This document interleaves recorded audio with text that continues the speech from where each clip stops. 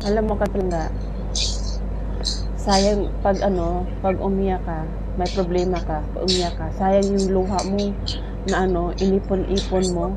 Ang tagal mo pinag-ipunan yan. Pagkatapos, iiyak ka lang.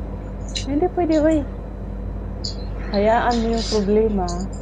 Hayaan mo yung problema na sila ang problema sa'yo. Basta ikaw, huwag kang problema sa kanila para hindi ka masaktan.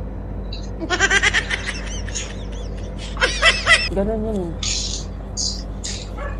At saka pag ano, pag, pag umiyak ka naman, pag umiyak ka, sayang, sayang naman yung ano, sayang naman yung luha na ilang buwan mong inipon-ipon yung luha mo pagkatapos, oh, ano lang siya, tutulo lang siya.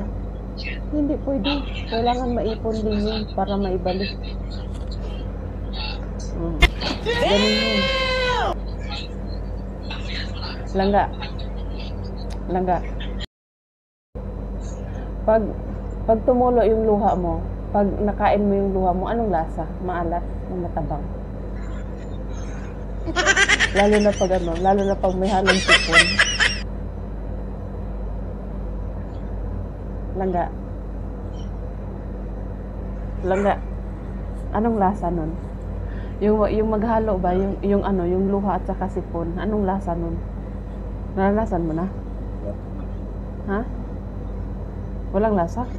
Eh, meron kaya, may lasa yung ano pa naghalo yung, yung luha at saka sipon. Tapos, aabot sa bunga nga mo palangga. Ano yun? Maalat-alat. Oo, totoo yun lang Maalat-alat yun.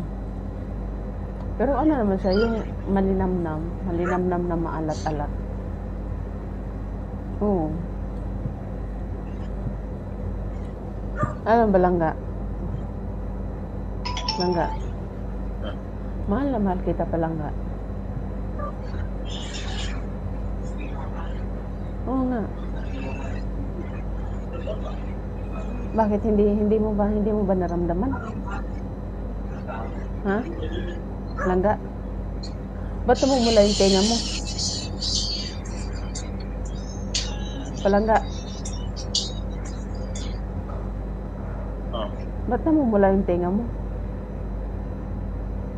Ha? Ba't namumula yung tenga mo? Ay, puyat ka kasi, kapuyat ka kasi no, hindi ka naka-street duty ka, hindi ka pa nakatulog. Kaya namumula yung tenga mo. Ganun ka pala. Namumula yung tenga mo. Pa- para kang, para kang ano ba, para kang nakainom.